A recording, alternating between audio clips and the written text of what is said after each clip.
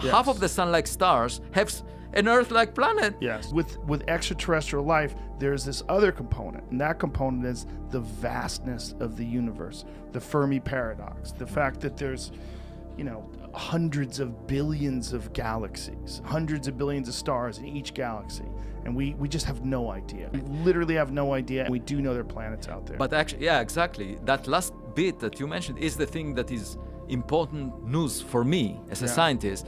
The fact that, you know, people used to say, we don't know how many Earth sun systems exist similar to ours.